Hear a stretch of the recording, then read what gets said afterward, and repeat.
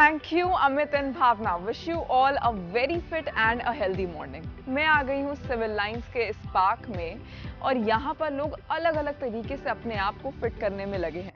तो चलिए चलते हैं। आज यहाँ मौजूद लोगों से जानते हैं उनके फिटनेस मंत्र का राज।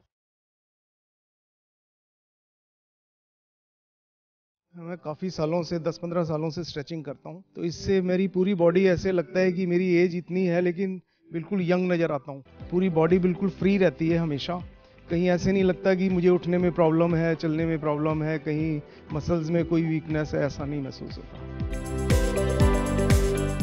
मैं तो हर लेडी को बोलूँगी कि आपको अपने लिए, अपने आप को टाइम अपने आप को, अपनी बॉडी को देखना आपके लिए बहुत ज़रूरी है। क्योंकि अगर आप अपने आप को टाइम नहीं दे सकते तो आप किसी को भी टाइम नहीं दे सकते। क्योंकि अगर आप सबसे पहले आपको अपने आप को खुश रखना बहुत ज़रूरी है, तभी आप अपनी फैमिली को खुश रख सकोगे। और अगर आप खुद फिट हो, तभी आप अपनी फैमिली को फिट रख सकोगे। हम इसी एजेंडा से पार्क आते हैं और हम सब इसी, उससे आते हैं कि हम यहाँ पर खूब हंसें और अपने आप को फिट रख सकें। मैं सुबह मॉर्निंग में डेली पार्क आता हूँ और मुझे पार्क आना तो मतलब बहुत ज़्यादा अच्छा लगता है। यहाँ का व्यूज़ इतना प्यारा है। कि मैं आपको बता नहीं सकता। और बिना पार्क आए तो मेरा बिल्कुल मन ही नहीं लगता। योगा करने का इतना शौक है हमें, हम लोगों को, और कुछ पार्क की लोकेशन भी बहुत ज़्यादा प्यारी है। अगर शरीर फिट रहेगा तो सब कुछ फिट रहेगा। मैं तो कहूँगा सभी लोगों को वॉक पे जाना चाहिए मॉर्निंग वॉक के अंदर, और शाम को भी करना चाहिए, और साथ है ना इंजॉयबल अच्छी लाइफ गुजारनी चाहिए। हम अबाउट सिक्सटी ईयर्स हैं तो अपना परिवार का पूरा पूरा अपनी वाइफ का पूरा पूरा साथ संसार देना चाहिए। हम सुबह इस टाइम तो ज़रूर आते हैं 20 मिनट की वॉक ज़रूर करते हैं। और ये बहुत ज़रूरी है और ये बहुत अच्छा लगता है कि सुबह आना हो जाता है हमारा। अर्ली मॉर्निंग वही या तो सिक्स ओ क्लॉक आते हैं या फिर इस टाइम आते हैं। आजकल जैसे स्मॉग बहुत हो गया है एटमॉस्फेयर में तो इसलिए इस समय ज़रूर आते हैं। सबसे बेस्ट एक्सरसाइज होती है रनिंग अगर रनिंग आपकी है डेली आप रनिंग करते हो तो उसमें सारी बॉडी एक्सरसाइज आ जाती है।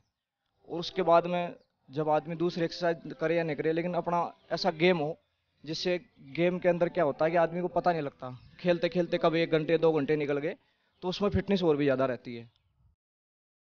हम अपनी फिटनेस का ध्यान या वॉक करके रनिंग करके एक्सरसाइज करके इस तरह से रखते हैं, क्योंकि यहाँ का वातावरण बहुत अच्छा है और पार्कों से बहुत बढ़िया है ये। सवेरे कोशिश करें कि अपने घर के आसपास जो भी पार्क है तो उसमें जाएँ। अगर आप इस पार्क में आ सकते हैं तो इस पार्क में आके वॉक करें तो आपको खुद पता लगेगा इस पार्क में और पार्कों में क्या फ़र्क है।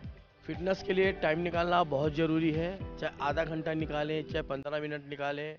पार्क में नहीं आ सकते तो अपने घर के आसपास जो छोटे मोटे पार्क, बड़े पार्क, उसमें ज़रूर करें। स्वस्थ रहें और मस्त रहें।